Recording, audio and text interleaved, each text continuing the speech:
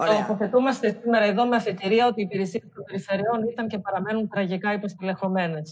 Καλούμαστε να τοποθετηθούμε για το πώς θα γίνονται οι προσλήψεις στο δημόσιο την ώρα που παραμένουν οι καταργήσεις οργανικών θέσεων με τον Καλλικράτη, οι καταργήσεις οργανικών θέσεων του νόμου 4024, την ώρα που η ουσιαστική απαγόρευση των προσλήψεων συνεχίζεται και οι μόνοι που έχουν προσληφθεί στις περιφέρειες είναι οι επιτυχώντε, λίγοι μετρημένοι του 2007, 8, 9, μαζί με τους χιλιάδες συμβασιούχους βέβαια.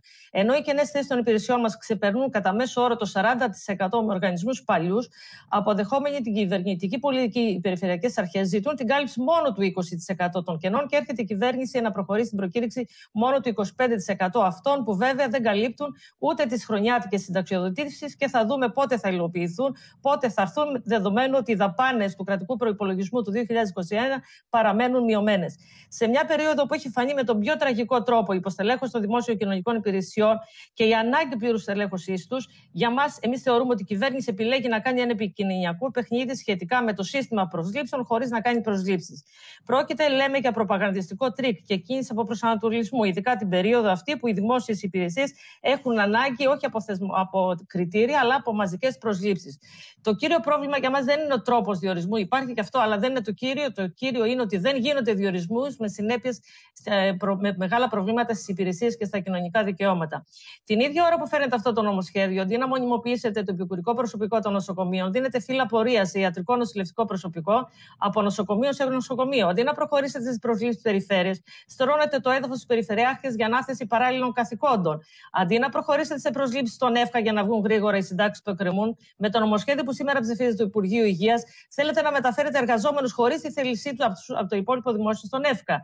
Λέμε κινητές ομάδες υπαλλήλων μπαλώματος επιγόντων περιστατικών θέλετε να έχετε το δημόσιο, λειτουργώντας το σαν εταιρεία εργολαβικών και ενοικιαζόμενων εργαζομένων, γιατί δεν βγαίνει τις ελάχιστες προσλήψεις. Είμαστε αντίθετοι σε όλα αυτά και βέβαια είμαστε αντίθετοι και στο αίτημα που προβάλλουν και καταθέτουν ΕΝΠΕ και περιφερειάρχες ως αντιστάθισμα της υποστελέχωσης των υπηρεσιών. Αντί για προσλήψη και κάλυψη των γενών, ζητούν να μπει φραγμός στο δικαίωμα της συμμετοχής των εργαζομένων στην κινητικότητα. Είμαστε αντίθετοι στο να απαιτείται η σύμφωνη γνώμη τους για, για να προχωρήσει το αίτημα για μετάταξη, γιατί διαφορετικά σε αυτή την περίπτωση η κινητικότητα, το καταλαβαίνουν όλοι, θα γίνει ένα κενό γράμμα.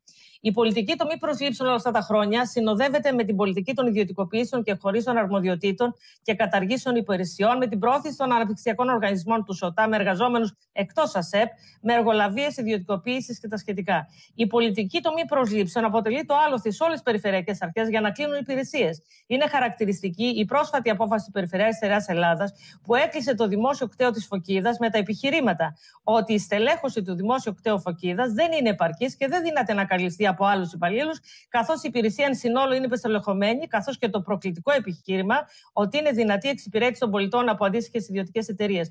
Πώς βέβαια να, να λειτουργήσουν τα κτέο όταν οι τελευταίες προσλήψεις τεχνικών μηχανικών οχημάτων έγιναν το 1987. Με τέτοια επιχειρήματα έχουν κλείσει τα μισά και ας έχουν πιστοποιηθεί τα μηχανήματα και διαδικασίες. Και βέβαια, οφείλουμε να πούμε ότι είναι προκλητικό να προσπαθούν κάποιοι και θεωρούμε και κόμματα και περιφερειάρχες να πείσουν ότι ο μονόδρομος των ιδιωτικοποιήσεων συμφέρει. Και επειδή είναι πρόσφατα τα στοιχεία των προπολογισμών που εγκρίναν και οι περιφερειακές αρχές, παρουσιάζουμε ένα μόνο στοιχείο. Οι δαπάνες στην περιφέρεια Αττικής, 1.650.000 ευρώ για εργολαβικές επιχειρήσεις καθαριότητας κτηρίων της, αντιστοιχούν με 100 εργαζόμενους δημοσίους υπαλλήλους την ίδια ώρα που οι εργολάβοι απασχολούνται με αυτά τα χρήματα και απασχολούν τους μισούς εργαζόμενους με το 1 τέταρτο των αποδοχών που θα μπορούσαν να παίρνουν. Το συγκεκριμένο νομοσχέδιο έρχεται να υπηρετήσει τη στρατηγική της συνέχειας του κράτους. Να κουμπώσουμε προηγούμενους νόμους και δεν μπορεί να αντιμετωπίζεται, κατά την άποψή μας, ως ένα τεχνοκρατικό νομοσχέδιο που απλώς έχει να κάνει με το σύστημα προσλήψεων και πλήρωσης των θέσεων στο δημόσιο. Αλλά πρόκειται για ένα νομοσχέδιο που ε, στην πραγματικότητα προχωρεί τον εξυγχρονισμό σε εισαγωγικά, το βάζουμε εμείς στο δημόσιο τομέα, με το, έχει να κάνει με το χαρακτήρα, το ρόλο και την αποστολή του κράτους στις νέες συνθήκες, αποτελεί, λέμε, ένα κομμάτι του ενιαίου πάζλ. Ο τίτλος του νομοσχεδίου Αξιοκρατίας στο δημόσιο τομέα είναι ψευδεπίγραφος. Καμιά σχέση δεν έχει με την αξιοκρατία, γιατί αξιοκρατία και συνέντευξη δεν συμβιβάζονται. Είναι το ίδιο έργο με τις διαδικασίες επιλογής τελεχών, όπου είδαμε ξεκάθαρα πώς η συνέντευξη ανέβασε τον τελευταίο υποψήφιο Γενικό Διευθυντή στην πρώτη θέση μέσα από διαδικασίες της συνέντευξης του ΙΣΕΠ με τις ευλογίες του ΑΣΕΠ, πόσο και αν περιβάλλεται με το φωτοστέφανο της ανεξάρτητης αρχής από όλους, κινείται αυστηρά στο προκαθορισμένο πλαίσιο και τις κατευθύνσεις που ορίζει η εκάστοτε κυβέρνηση. Κινείται, θα λέγαμε, σε ρόλο τοποθετητή για την ανατροπή των εργασιακών σχέσεων, για την απαγόρευση μετατροπής των συμβάσεων σε ορίστου χρόνου, των ΙΔΑΧ, με βάση τη συνταγματική απαγόρευση του άρθρου 103, που ψηφίσατε επί κυβέρνηση ΣΥΡΙΖΑ και αρνηθήκατε να υιοθετήσετε την σχετική τροπολογία 150 ομοσπονδιών και σωματείων του Δημοσίου. Τα κριτήρια προσλήψεων που θεσμοθετεί το συγκεκριμένο νομοσχέδιο με τον πανελλαδικό διαγωνισμό και τη συνέντευξη είναι ουσιαστικά κριτήρια κόφτη και αποκλεισμού. Αξιοκρατία, διαφάνεια, αντικειμενικότητα και ψυχομετρικά τεστ δεν συμβιβάζονται. Και βέβαια, κανένας καθένας καταλαβαίνει τι σημαίνουν οι αναφερόμενες ως πρόσθετες διαγωνιστικές διαδικασίες που μπορούν να αιτούνται οι φόροι, φορείς για τις προσλήψεις τους. Αξιοκρατία και αντικειμενικότητα δεν υπάρχει χωρίς αντικειμενικά και μετρήσιμα κριτήρια. Δεν υπάρχει με την τεράστια υποβάθμιση των τυπικών προσόντων, την απαξίωση των τίτλων σπουδών, με το μηδενισμό της προπηρεσία. Το νομοσχέδιο είναι βαθιά ταξικό, κωδικοποιεί και ενσωματώνει όλες τις αντεργατικές ρυθμίσεις και έρχεται έρχεται να θεσμοθετήσει την επιτάχυνση στην πρόσληψη των δικών σας παιδιών, λειτουργεί φωτογραφικά, ώστε απρόσκοπτα ο κρατικός μηχανισμός να υπηρετεί τις επιδιώξεις άρχουσας τάξης και των εκάστοτε αντιλαϊκών κυβερνήσεων. Για τους εργαζόμενους, ολοκληρώνω, είναι φανερό ότι η μόνη πρόταση που υπάρχει είναι η απόσυρση αυτού του νομοσχεδίου των ημετέρων και της αναξιοκρατίας.